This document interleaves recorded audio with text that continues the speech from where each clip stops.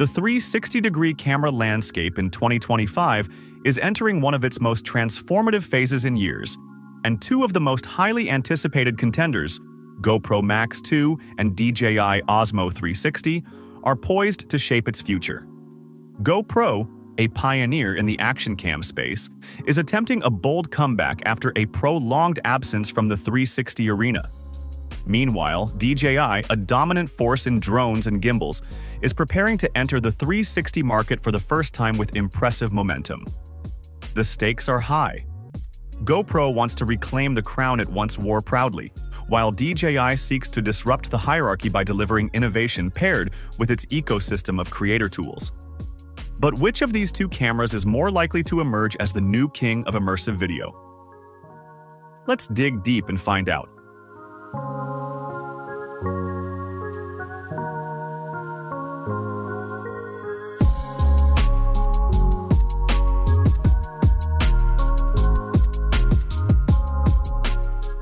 When it comes to imaging, both the GoPro Max 2 and DJI Osmo 360 are rumored to deliver serious upgrades, signaling a generational leap over previous standards. For GoPro, this is a necessity rather than a luxury. The original Max, released in 2019, captured 5.3K 360 video using two 1.5.3-inch sensors, a specification that's now outdated in a market where 8K is becoming the benchmark. Rumors suggest the Max 2 will likely leap to 8K at 30 frames per second, potentially matching the 5.7K at 60 frames per second capability found in the Insta360 X5 and reportedly mirrored by DJI's Osmo 360. DJI's Osmo 360, based on credible leaks, will feature dual 1.28-inch sensors, a significant bump in size and light gathering ability. These sensors are expected to capture rich detail, particularly in low light, where most 360 cameras have historically struggled.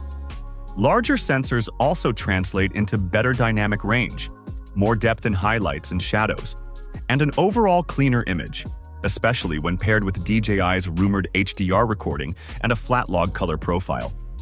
The latter will appeal to professional users who prefer post-production flexibility. If these specs hold true, DJI may edge ahead in pure image quality, especially in challenging environments like nighttime cityscapes or dimly lit interiors.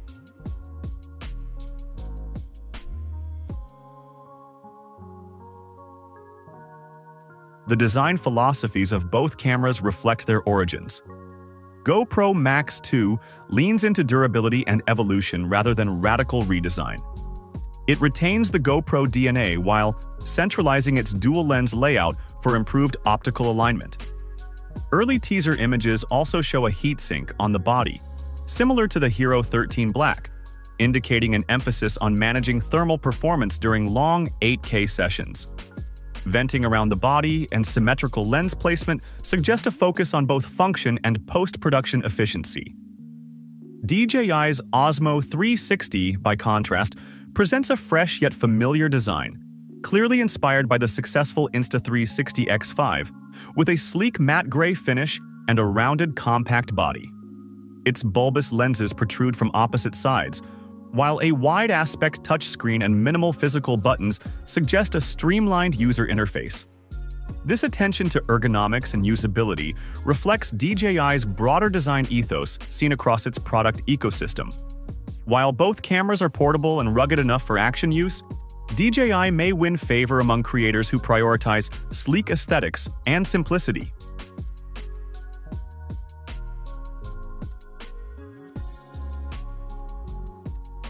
GoPro has long been synonymous with superior stabilization, and the Max 2 is likely to introduce a new version of its Hypersmooth tech, possibly version 6.0. Hypersmooth has consistently set industry standards, and a next-gen version tailored for 360 content could incorporate advanced horizon locking and real-time horizon leveling. This would be a major step forward, making post-editing easier and motion-intensive footage smoother without the need for external gimbals. On the other side, DJI will almost certainly bring its rock-steady stabilization to the Osmo 360, refined specifically for 360 workflows. DJI has also reportedly built in real-time stitching and gyro-assisted stabilization, offering a comparable level of performance. But where DJI could shine brightest is in intelligent features. Object tracking, AI reframing, and scene recognition, powered through its software. DJI's existing Mimo app already provides solid control for Osmo devices, and while it remains unclear whether a new app will debut with the Osmo 360, it's likely that DJI will deliver a polished mobile editing and sharing experience. GoPro's Quik app has also matured over the years, with solid auto editing, reframing, and export tools, but DJI may hold the edge if it introduces a more tightly integrated app experience. The difference here could come down to user preference. Those deeply embedded in either ecosystem may gravitate toward the platform they're already using.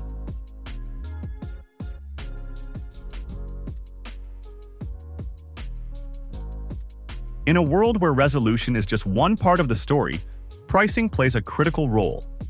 DJI has yet to confirm pricing for the Osmo 360, but if it closely rivals the Insta360 X5, it could land near the 549 to 599 mark. That's the premium tier, especially considering the camera's dual 1.28-inch sensors, 8K capabilities, and pro-grade features. GoPro Max 2 is likely to be priced more competitively, possibly between $499 and $549. If GoPro can deliver solid 8K video, good low-light performance, and high-end stabilization under $550, it could be a huge value proposition, especially for users already in the GoPro ecosystem or looking for a one-stop solution for adventure and 360 shooting. However, DJI's edge may come from perceived value rather than just the price tag. If the Osmo 360 ships with integrated software tools, log profile support, and tight integration with other DJI accessories, users may feel they're getting a broader toolkit for their money.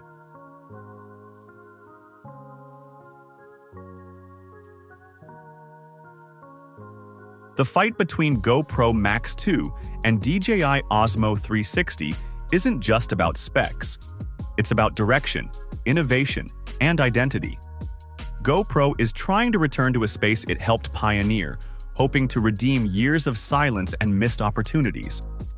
The Max 2 looks to be a capable, refined piece of tech, built on lessons learned from the Hero line and optimized for a broader audience beyond just extreme sports. DJI, on the other hand, is entering this market for the first time, but it's coming in hot, with a design inspired by the best in the industry and specifications that place it on equal footing with the reigning champion, Insta360. DJI's ability to offer an end-to-end -end ecosystem could very well tip the scales in its favor. If GoPro nails the Max 2's launch, offers reliable performance, and keeps the price competitive, it could win back a significant chunk of market share. But DJI's Osmo 360 looks to be more than just an Insta360 clone. It's a statement of intent. In the end, the winner will come down to execution. GoPro must deliver on its promises, while DJI needs to prove it can master 360 content as seamlessly as it has with drones. Until both cameras hit shelves and real-world performance is assessed, one thing is certain, the 360 camera war is back, and it's more exciting than ever. Thank you.